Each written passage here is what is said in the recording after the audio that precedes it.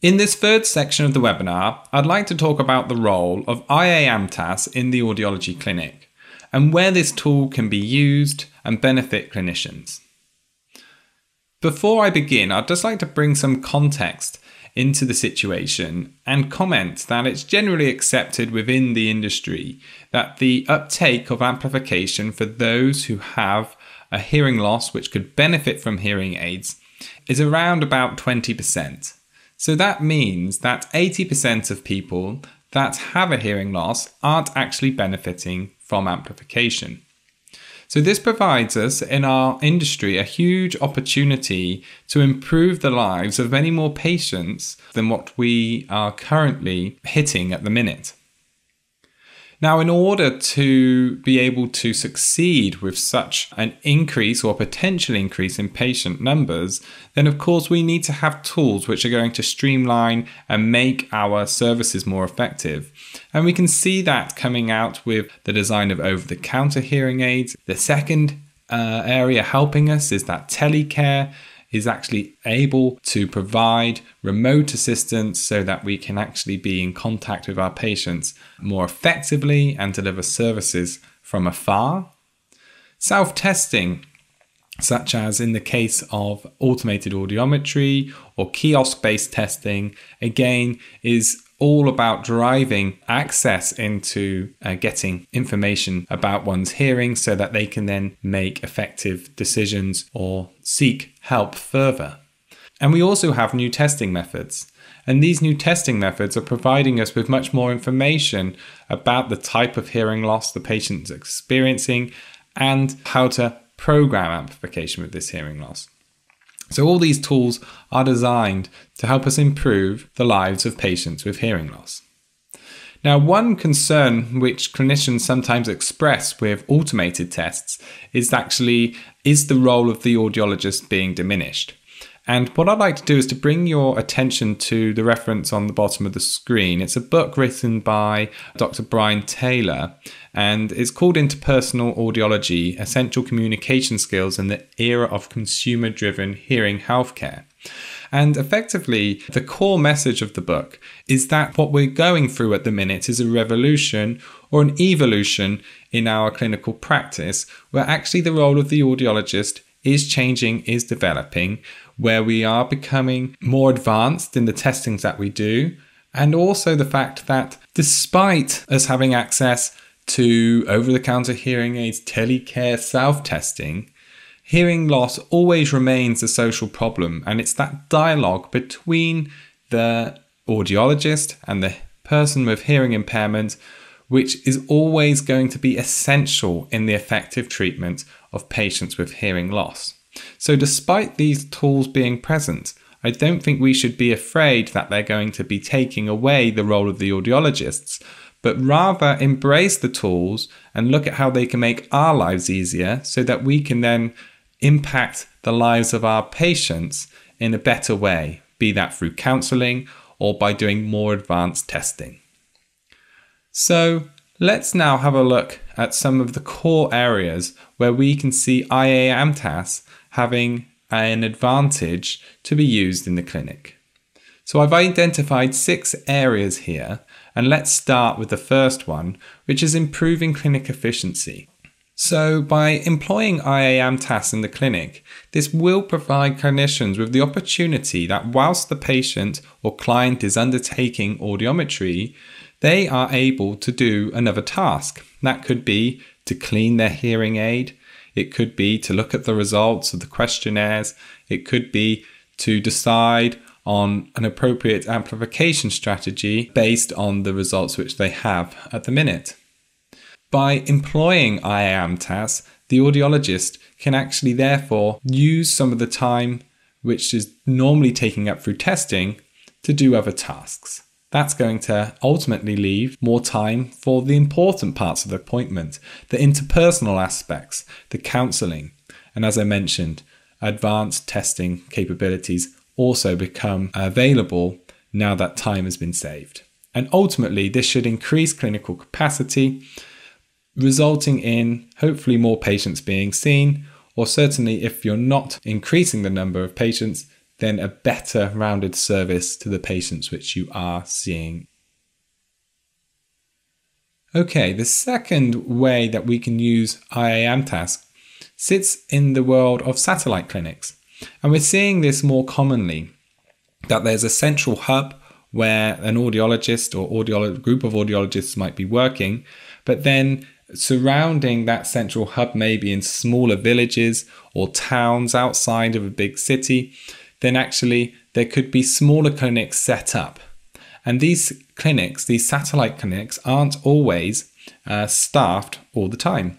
However, with IA-AMTAS, this allows for an automated hearing test to be completed without the presence of an audiologist. Now, it's important to note that you would need, of course, a qualified or a trained professional who would be able to place on the transducers.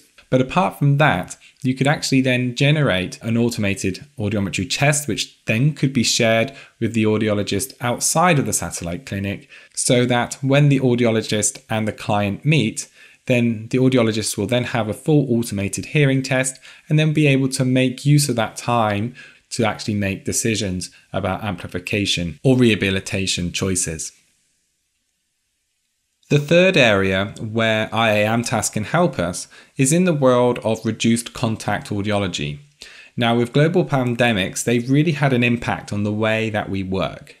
And the nice thing about IA-AMTAS is that the automation process actually provides uh, less contact with the patient. That is physical contact because you only have to put the transducers on once. Whereas in traditional audiometry, you would be touching the patient multiple times as you move between air conduction, bone conduction, and masking. The second thing to also benefit from reduced contact is the fact that when the patient is undergoing the IA-AMTAS, the audiologist can technically be outside of the room. So, again, not having to be in such close contact with the patient during the test. These two components are going to ultimately result in a safe and working environment and reduce exposure risk, which is particularly important during this COVID situation. The fourth area where IA-AMTAS can be used within clinic is for the use of telecare, and I mentioned telecare a little bit earlier in the presentation. But we are going to see a huge amount of change in our profession over the coming years, and telecare is going to be at the heart of that. Now, if we look at telecare, uh, which is evolving from the hearing aid manufacturers, we can see that automation is at the heart of telecare. And it's this automation which will allow increased capacity for our clinics and a full on demand service for our patients. So the future of telecare is incredibly vast, and therefore embracing these technologies now will future proof you against the changes which are going to be happening over the coming years.